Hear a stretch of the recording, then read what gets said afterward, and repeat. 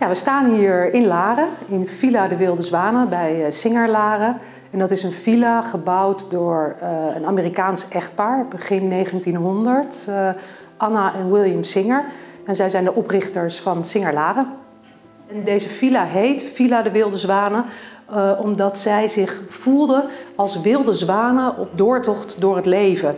Dus je ziet hier ook overal symbooltjes van zwanen. En als je naar buiten gaat, zometeen op het voorplein, staat daar een heel mooi beeld ook van drie, uh, van drie zwanen.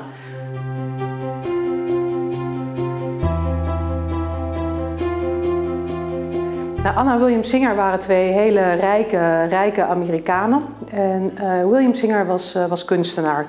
En zijn vader was een, uh, een grote staalmagnaat in Amerika. En zijn vader had eigenlijk verwacht dat William wel dat bedrijf zou gaan overnemen. Maar William was gewoon gegrepen door de kunst. Die wilde zelf kunst maken en die wilde kunstenaars zien. En zij vertrokken, begin 1900 vertrokken zij naar Europa. En eigenlijk om nooit meer, nooit meer weg te gaan. Ze hebben uiteindelijk hier een villa gebouwd en uh, zijn hier gebleven. Ja, dus wat je ziet, vanaf 1880 uh, komen hier kunstenaars naartoe.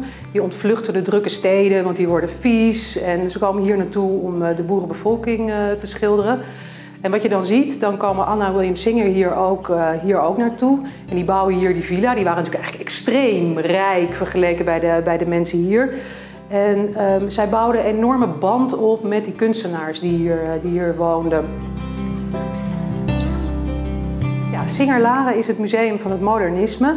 En uh, bij ons zie je kunst gemaakt in de periode 1880-1940.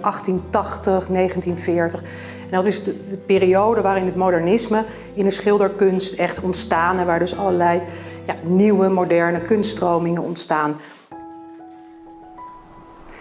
Ja, we staan hier eigenlijk op mijn favoriete plek uh, van Singerlaren. We staan hier in onze beeldentuin.